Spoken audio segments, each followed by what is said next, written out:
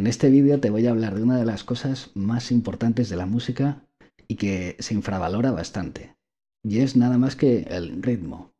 Lo que se hace con esta mano, ¿vale? Tienes que pensar que esto es como si fuera un instrumento de percusión. Y es lo que lleva todo. Es lo que hace que la gente se mueva, que anticipe lo que va a venir. Ese tipo de cosas. Incluso puedes hacer que la gente se acelere, que la gente se quede expectante.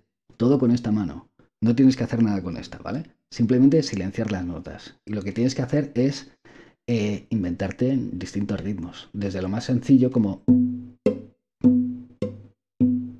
como un reloj. A algo ya mucho más complejo, más funky, como...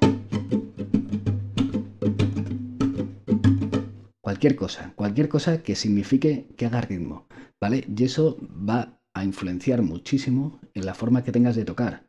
Por ejemplo, la gente cuando empieza a tocar siempre toca eh, lo más sencillo, así, este tipo de acordes, como... Pero si practicas cosas de ritmo, puedes hacer como...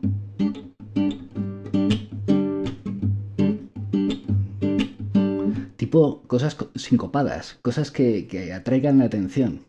O tocar más lento.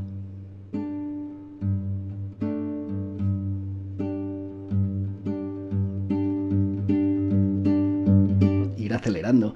Por eso te digo, por ejemplo, el metrónomo es una buena herramienta para practicar, pero nunca olvides que el mejor metrónomo lo tienes en tu cabeza y significa y puede llevar la emoción de la gente.